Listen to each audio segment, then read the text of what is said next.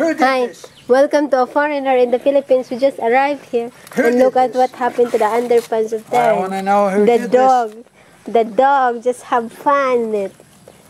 Basha, you're the one, Basha.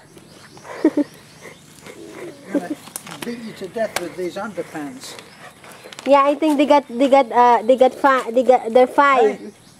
Because what? They're five and have fun on it.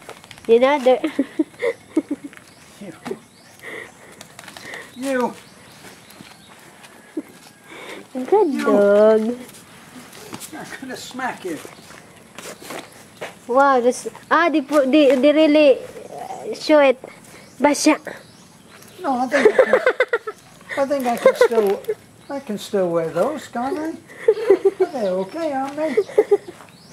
That that. Do you want these? You want you want these underpants? No? How about the ring? oh well. That's a glimpse of our life here. We're out here. We're, we went to church and then the dog have fun. Han, just put, just put of who's the one who stole it. We, let's find out the real one. Come on. I'll throw it, okay? One. Okay, go. Who, who's gonna pick first?